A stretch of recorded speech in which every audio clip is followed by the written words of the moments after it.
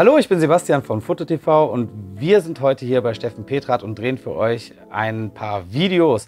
Und ich habe mir gedacht, wenn ich ihn hier schon sitzen habe, Steffen, du bist seit sechs Jahren bist du für uns aktiv als Fotograf bei FotoTV und ähm, wir holen uns regelmäßig Tipps bei dir, aber fünf kleine Tipps, die du einfach mal so raushauen kannst, was wäre das?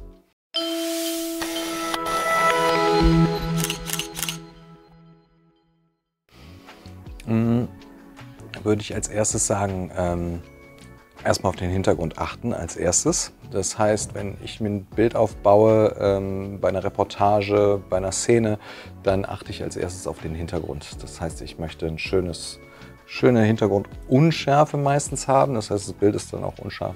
Äh, der Hintergrund wird unscharf, weil ich meistens einen Protagonisten oder eine Protagonistin im Bild habe. Und das heißt, das allererste ist für mich der Hintergrund. Den suche ich mir.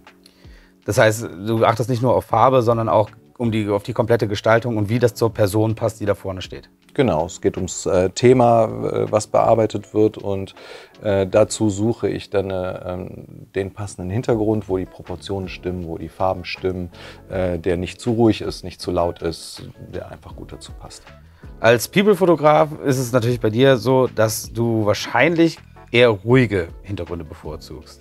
Was wäre eine Situation, wo du sagen würdest, da, da brauche ich jetzt einen wilden, einen hektischen Hintergrund? Nee, das ist tatsächlich, das ist tatsächlich Themen, äh, themenabhängig. Also der darf auch wild sein, der darf auch laut sein.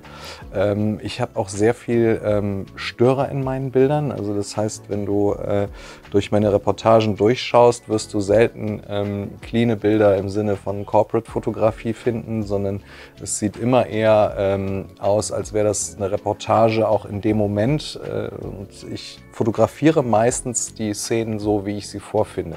Ähm, das heißt, bei mir wird kein ähm, Mülleimer im Hintergrund weggeschoben, äh, kein Karton verrückt. Ich lasse das ganz gerne so, wie es ist, ähm, weil die Bilder auch ähm, dadurch so äh, an Glätte verlieren. Ja? Die, bekommen, die bekommen was Authentisches, die bekommen was Echtes.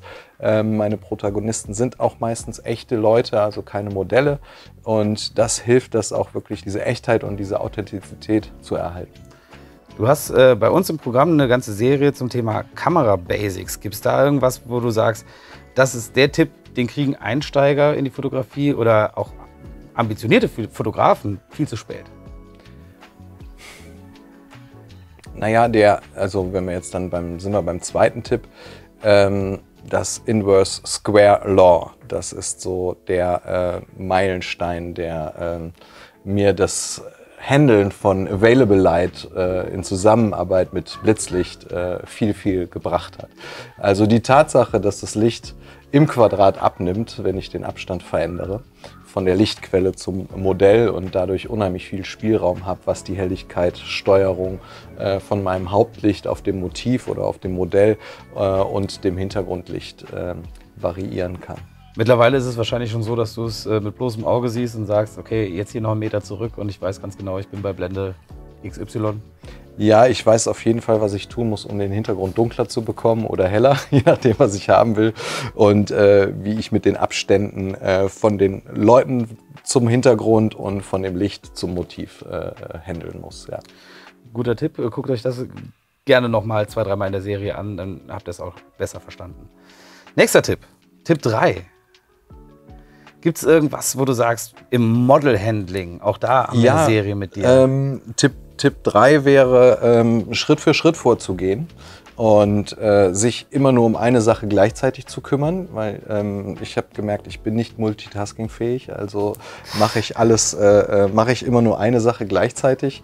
Ähm, das heißt, wenn ich mich um die Kameraeinstellungen kümmere, kümmere ich mich ausschließlich um die Kameraeinstellungen und nicht um Modell, Hintergrund und Licht etc., sondern wirklich nur um das, was äh, mit dem Gerät passiert. Ähm, Zusatztipp dazu, äh, das kommuniziere ich auch sehr, sehr deutlich mit meinen äh, Leuten, die vor der Kamera stehen, damit die wissen, dass sie jetzt noch nicht arbeiten, lächeln, performen oder sonst was machen müssen, sondern sich entspannen können generell, äh, das wäre wahrscheinlich dann auch ein guter Tipp zu sagen, äh, die Kommunikation am Set mit dem Model, damit das Model sich nicht verloren fühlt. Sagst du auch in der Serie, äh, ist eine der wichtigsten Sachen, damit nämlich da auch die Kommunikation zwischen Fotograf und Model, die Chemie nicht nur stimmt, sondern auch die Laune gut bleibt. Genau, das muss sehr, das mache ich sehr transparent und ähm, äh, da es beim, bei einem Fotoshoot viele Sachen gibt, die einen ärgern oder die noch nicht richtig funktionieren, ähm, ist es umso wichtiger, dass ich kommuniziere, dass es nicht an der Person vor der Kamera liegt, sondern an mir und meinem technischen Unvermögen in dem Moment. Das kennen wir, glaube ich, alle. Und äh, ja, noch ein Tipp, einen noch.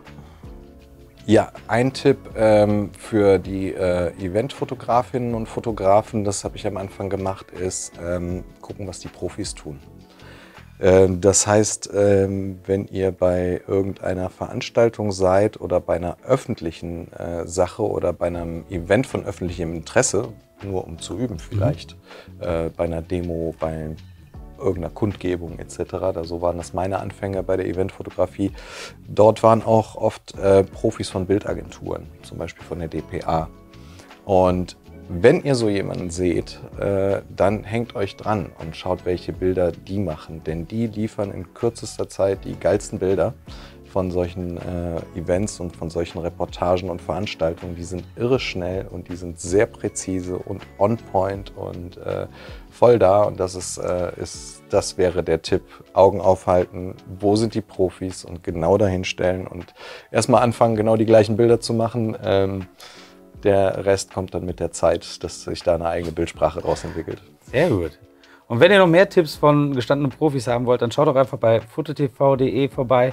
Dort haben wir über dreieinhalbtausend Filme im Programm, unter anderem mit Steffen und äh, ganz viele tolle Tipps, die euch in der Fotografie weiterbringen. Ansonsten, wenn euch das Video gefallen hat, liked das Video, abonniert den Kanal, wenn ihr nichts mehr verpassen wollt und dann bis zum nächsten Mal. Ciao.